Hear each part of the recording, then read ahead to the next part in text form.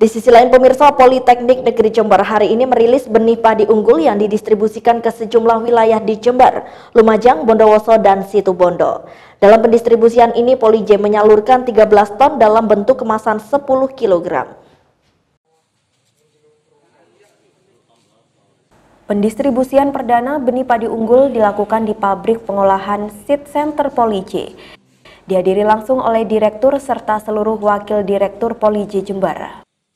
Target pendistribusian benih unggul milik Polij ini sebesar 100 ton.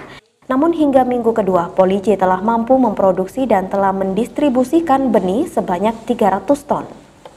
Tercapainya target tersebut merupakan kerja keras para sivitas akademika Polij dan juga melibatkan mahasiswa.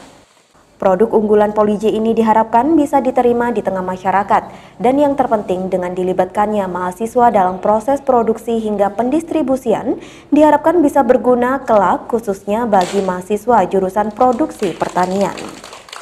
Uh, ya, jadi ini adalah bagian dari wujud link and match antara industri pertanian, mitra polisi dan polisi sendiri uh, link and match ini kita prioritaskan untuk peningkatan mutu dan kualitas sumber daya manusia khususnya adik-adik mahasiswa. Dan lebih dari itu adalah peningkatan kualitas SDM uh, eh, untuk dosen dan tenaga tekniknya.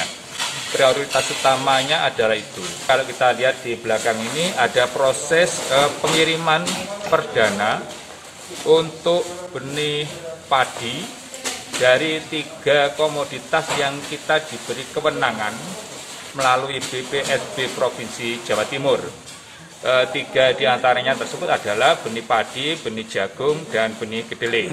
Untuk sementara kita prioritaskan dulu benih padi dalam rangka untuk dapat memenuhi kebutuhan benih setidaknya pada level Jawa Timur. Untuk tahun 2020 ini oleh BPSB Provinsi Jawa Timur kita diberi kewenangan untuk mendistribusikan lebih kurang sekitar 100 ton. Dari target 100 ton kita per minggu kemarin sudah selesaikan 330 ton. Ada peningkatan 300 persen dari target yang diberikan.